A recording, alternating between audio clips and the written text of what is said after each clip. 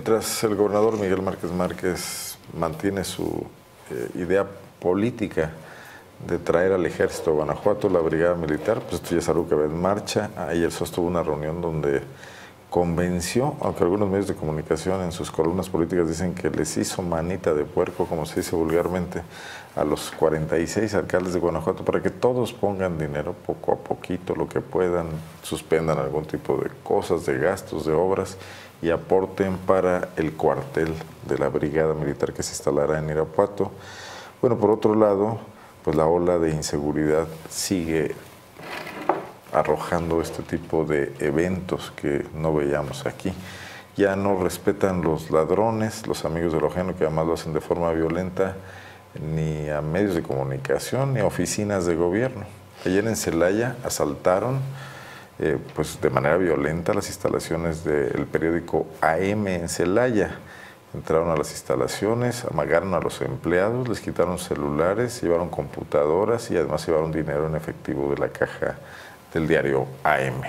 Luis García está en la línea telefónica para platicarnos más detalles. Más tarde le cuento que también en Pénjamo, una oficina pública, una oficina de gobierno estatal, también fue allanada y fue robada también de forma violenta. Luis, ¿cómo estás?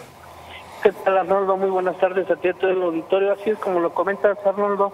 Este, ayer por la tarde pues fueron asaltadas las oficinas del periódico AM aquí en Celaya alrededor de las 18 horas, este, dos hombres armados con pistolas Arnoldo ingresó a las oficinas y amagó al personal que se encontraba en la planta baja, este, haciendo esto en su mayoría mujeres, Arnoldo, tanto la recepcionista y algunos publicistas que están en la planta baja de, este edificio. Dime una cosa, Luis, ¿no, no cuenta con seguridad de algún tipo, privada, eh, guardias a la entrada del periódico?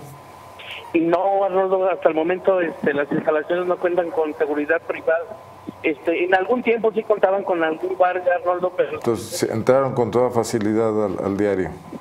Así es, así es, con facilidad, Arnoldo, déjame decirte que están ubicadas aquí en el ese Manuel J. Cloutier, casi esquina con México-Japón, Muy... Avenida Tecnológico, Arnoldo.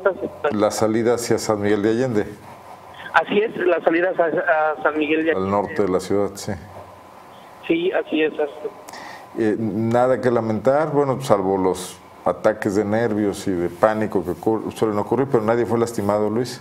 Afortunadamente no hubo heridos, Arnoldo, no hubo lesionados de ningún tipo, solamente las crisis nerviosas que sufrieron pues las trabajadoras que se encontraban en ese momento en el lugar.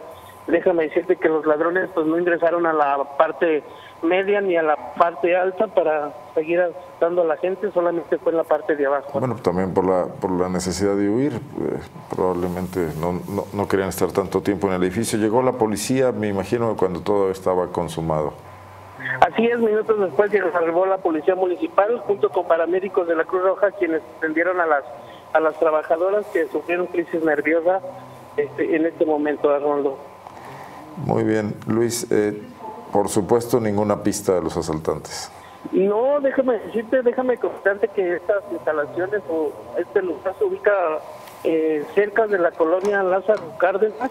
Este, es una de las conflictivas aquí en la ciudad, ¿no? Se presume que puede ser este eh, nombre de, esta colonia o de cercanías del lugar. Eh, también podría ser de cualquier parte. Digo, para, si no hay mayores pistas, pues más vale no especular. Sí, sí, sí. Hoy, eh, ¿Cómo está el día en Celaya hoy? ¿Más tranquilo?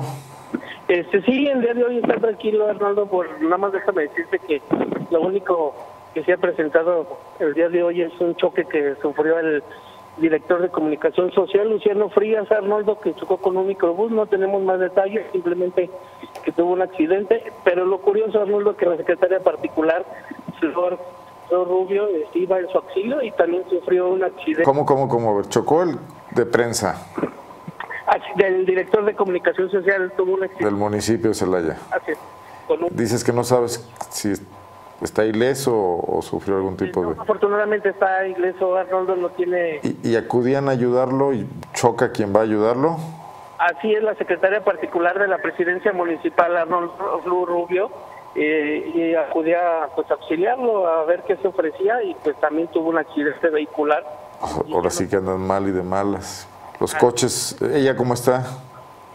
Este también sin lesiones, afortunadamente, no son puros daños materiales en los vehículos oficiales de aquí de la administración de Celaya. Bueno, pues a lo mejor por eso manejan tan mal, porque no son suyos. No creo. De acuerdo, Luis. Este, bueno, estamos en contacto, sería todo por el momento, ¿verdad? Sí, hasta ahorita sí estamos tranquilos por esta región, no, afortunadamente. Este, cualquier cosa, pues lo reportaríamos ahí en nuestra página de Zona Franca. Muy bien, muchísimas gracias, Luis. Gracias, buenas tardes. Yo le informo